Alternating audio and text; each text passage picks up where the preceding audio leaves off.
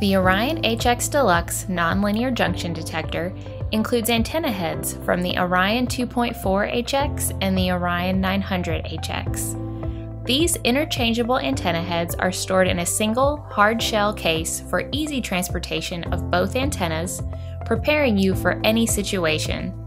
The 2.4 GHz antenna is better suited for detecting modern, surface mounted circuitry in normal office environments.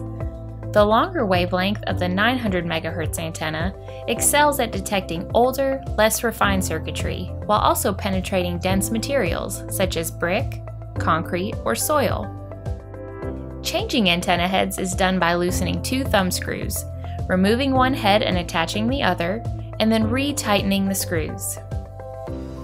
The base pole and touchscreen controller automatically recognize the antenna head attached and displays the corresponding charts and responses. The transmit power, second harmonic, and third harmonic responses are displayed in your line of sight.